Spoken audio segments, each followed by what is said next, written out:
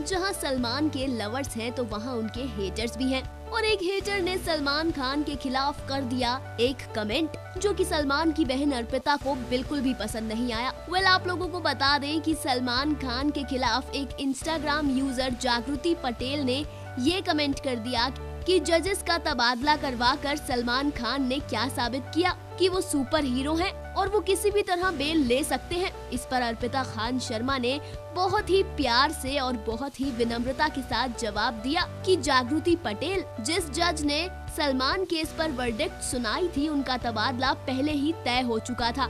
इसके साथ साथ अर्पिता ने बताया कि उन जज को अब प्रमोट भी कर दिया गया है। जी हाँ जज जोशी का, जिन्होंने सलमान को बेल दी थी, उनका अब प्रमोशन हो गया है।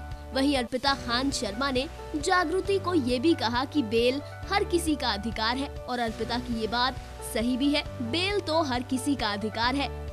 लेकिन रही बात जजेस के तबादले की तो इसमें अर्पिता की बात सही है या गलत? ये आप लोग खुद ही तय कीजिए, लेकिन आपको जाते जाते बता दे कि मजिस्ट्रेट जोशी का प्रमोशन वाकई हुआ है। Final cut news desk.